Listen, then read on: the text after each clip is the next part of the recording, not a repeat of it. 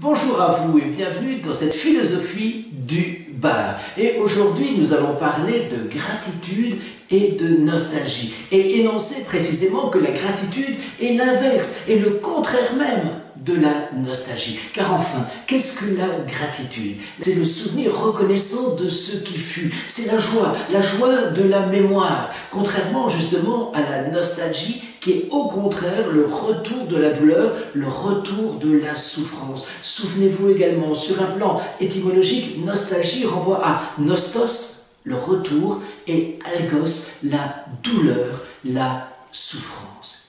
Il s'agit donc d'être reconnaissant pour ce passé, non pas parce qu'il nous manque, parce que ça c'est justement la nostalgie, mais au contraire être reconnaissant pour ce passé dans la mesure où il est actuel, dans la mesure où il est actualisé, dans la mesure où il est présent.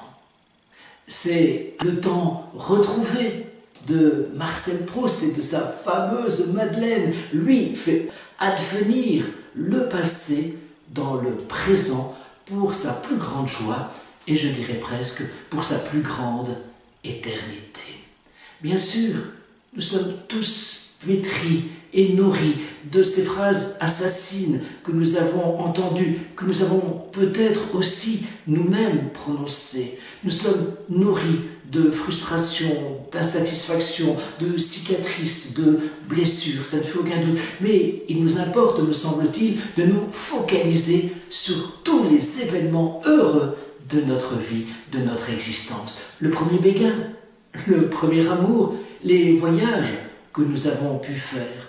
Je dis souvent personnellement qu'on ne voyage pas pour voyager, on voyage précisément pour se souvenir, pour se ressouvenir. Il est vrai aussi que la gratitude se porte sur toutes les personnes qui nous ont formés, modelés, sculptés, bâtis, construits, nos parents, notre fratrie, nos amis, nos connaissances, nos instituteurs, nos maîtres, et finalement tout ce que l'humanité a fait de nous.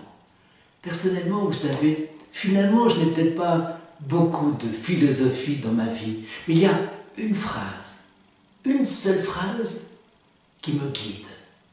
Ne jamais être indigne de ce que mes parents et mes maîtres, et finalement l'humanité entière, ne jamais être indigne de tout ce que ces gens-là ont fait de moi.